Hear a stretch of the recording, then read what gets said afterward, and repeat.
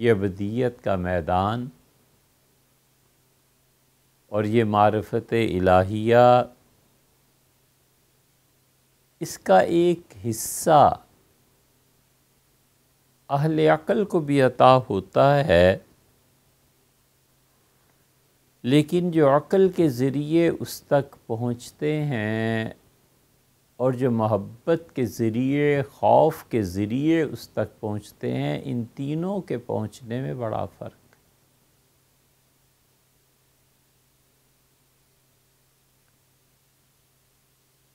इस फ़र्क को वाज तौर पे समझना हो तो वो सीना इसको भी कुछ पढ़ना चाहिए। या उसके हालात जानने चाहिए। अली सीना ये बिल्कुल उन लोगों में इसके अवाइल में से है जिन्होंने फ़लसफ़ा पढ़ लेने के बाद तसव्वुफ़ और इस मैदान को भी छुआ और रूह पे जो चीज़ें तारी होती हैं और इंसानी रूह इस मारफत की शराब को चखती है, पीती है,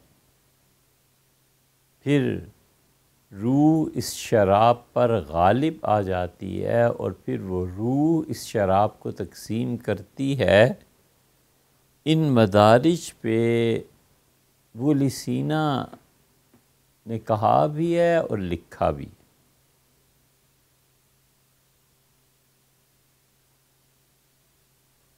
था ये अहल तशैयों में से और इसके अकीदे इस्माइलियों से मिलते जुलते थे कर्रामियों से मिलते थे और अकीदे के अतबार से शिया था और अपनी फ़िका के अतबार से अहलुसन्ना में से था मसन शिया के यहाँ अदल वाजिब है, ज़रूरी है। और उनके यहाँ अदल का वजूब और मतज़िला के यहाँ अक़ल का वजूब और अहलुसन्ना के यहाँ अक़ल का वजूब इसमें फ़र्क है।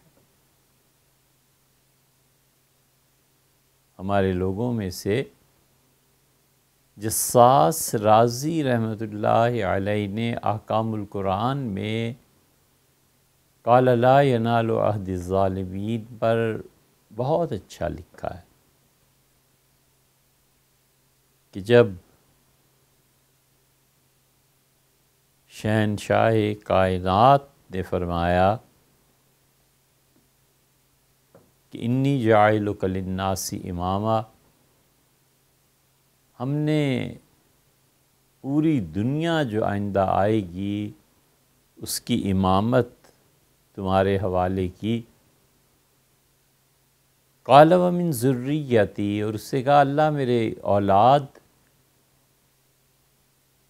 काललायनालहद ज़ालिमीन, अल्लाह ने कहा ालिमों तक ये इमामत नहीं पहुँचेगी।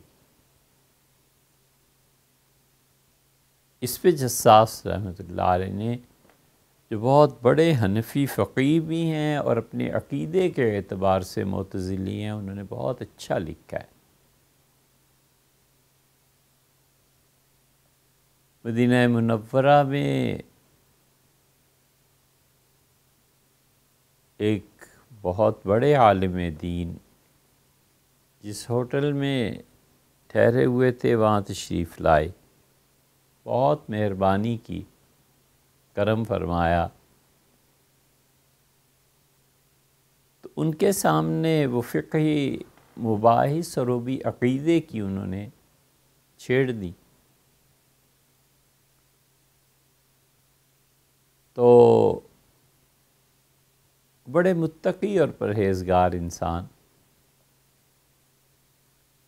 तो हमने जब अर्ज़ किया कि जसास ऐसे ऐसे लिखते हैं और अक़ीदे के मतज़ली हैं तो कोई नौ मसाइल रखे कि ये सब मतज़िला के हैं, हमारे अहलुसन्ना के नहीं हैं। बड़े तहमुल से सुनते रहे और आखिर पर फरमाने लगे कि मैंने जिस सास पे ज़िंदगी में जितना काम किया है, मैंने एक मरतबा उन्हें ख्वाब में देखा। तो बहुत रोशन और पुरनूर चेहरा था, सफ़ेद बाल थे। तो मैंने उनसे यही बात कही जो तुम कह रहे तो बहुत हंसे और फरमाया कि अल्लाह ने सब माफ़ कर दी, सब छुट्टी हो गई। ऐसे बड़े लोग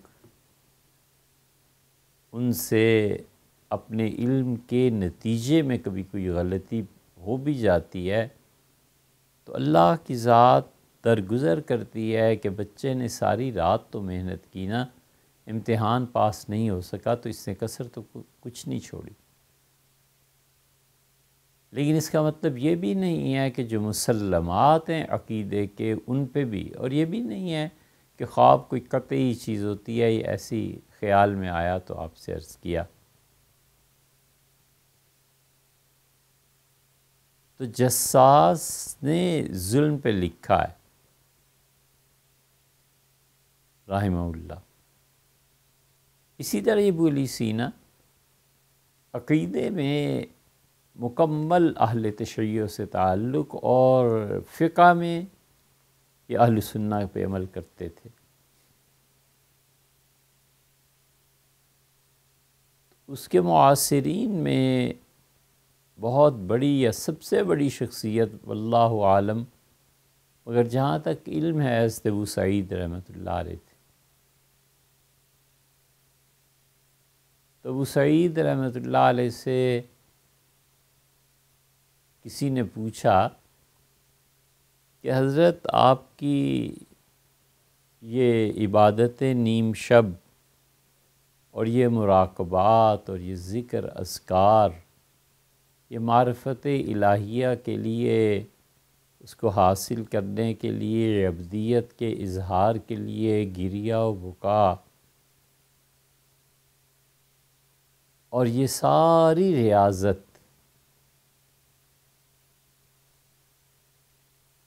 और बुली सीना का फ़लसफ़ा और उसके इल्म और उसकी मेहनत तो मारफत के मैदान में आप दोनों कहाँ तक पहुँचे? तो फरमाया, जिस मैदान में हम खेल रहे हैं और जिस मैदान के हम खिलाड़ी हैं और पहुँचे हुए हैं, जिस मैदान में वो लिसीना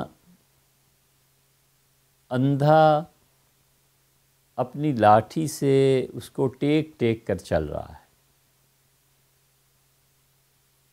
मैदान में पहुँचा है, लेकिन फिर भी लाठी के सहारे चल रहा है क्योंकि आँखें नहीं हैं। ये अकल के ज़रिए पहुँचना है। और वो अल्लाह की मारिफत उसके ज़राए और